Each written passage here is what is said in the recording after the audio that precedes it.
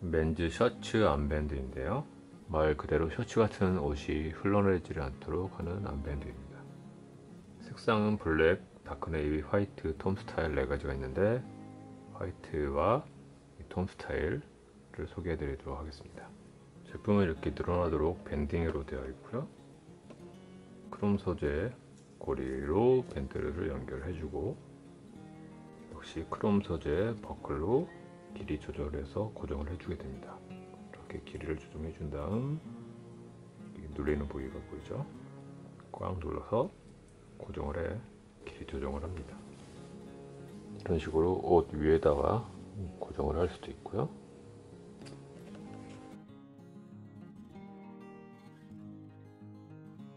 깔끔하게 이렇게 옷 속에다가 고정을 하는 방법도 있습니다.